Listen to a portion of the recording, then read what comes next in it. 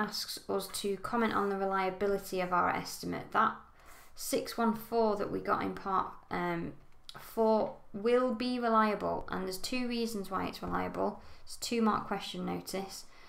So it is reliable and the reasons it's reliable are because firstly we had a high correlation and we know it's a high correlation because we've got 0.99 that's almost perfect correlation so it's reliable because the correlation is strong.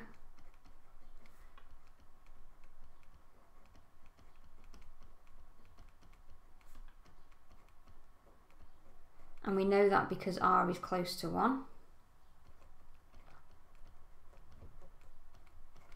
and the other reason is that the the 25 that we found was within the data range that we've been given.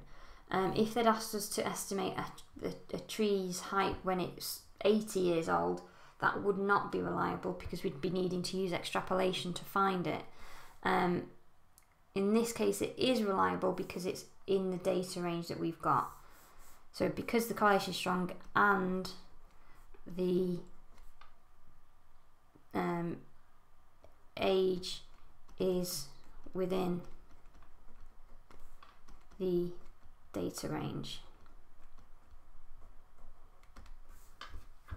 That's probably all we need to put for part 5.